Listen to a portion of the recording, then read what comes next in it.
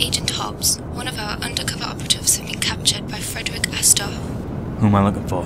His name is Chris Solomon. He's being held in the northwest building of the camp. This is a quick snatch and grab operation. Copy that.